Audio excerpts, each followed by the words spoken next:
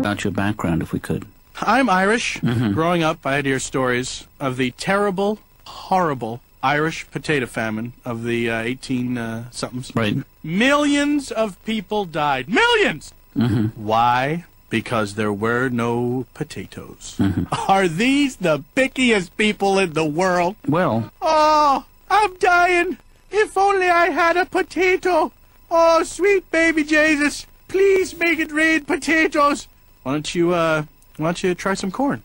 I don't like corn. Are you sure? You probably never even tried it. Oh, yes, I did. Remember at that wedding they had corn that time? I tried it. Don't care for it. Don't really like it. Well, you gotta do something. You eat some corn. Come on.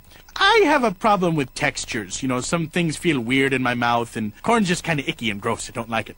Well, all right, just go ahead and starve to death. Uh, yeah, that's what I was doing before you had to interview me for your book about corn.